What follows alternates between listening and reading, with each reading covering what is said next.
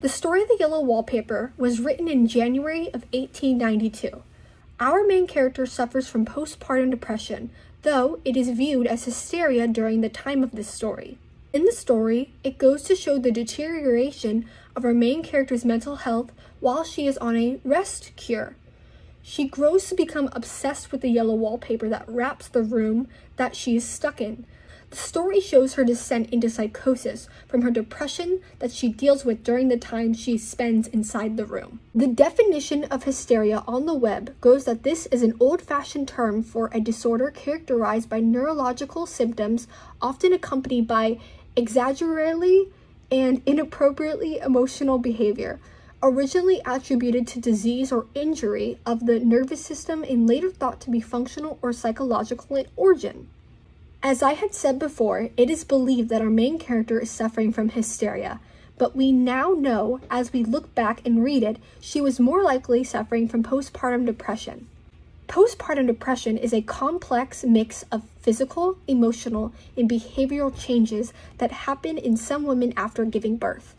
In some cases of this, the women who suffer from it are viewed as crazy or even erratic, and they sometimes do things that are considered out of the ordinary. During the time of the writing of the story, there was a discrimination on women's mental health. From the 1800s to the early 1900s, many women were sent and confined to mental institutions with diagnoses such as melancholia and nymphoma, as well as hysteria. They were sent there mostly when they were found dissatisfied with being the servants to the men in their lives or with their baby making duties that they were supposed to obey and fulfill. I find that this story really captures the ideas and practices that were used on women during this time. A woman wrote this story. Her name was Charlotte Perkins Gilman. I feel that this story being written by a woman adds more to the conversation as to what this story could be looked at on a deeper level. As she is a woman, she may have had to deal with the accusations such as hysteria and the sexism of the time that related back to her gender. My deeper understanding of the story is to look at it from an outside perspective. We must understand what she is feeling and experiencing along with the medical ideas of this time.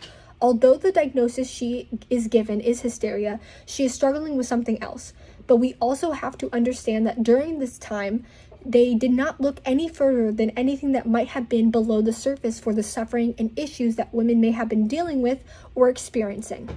I find this whole story quite interesting because as much as you want to shun the men in this story for how they treated our main character, which do not get me wrong, I do do myself, you must put into perspective the society that was around at this time.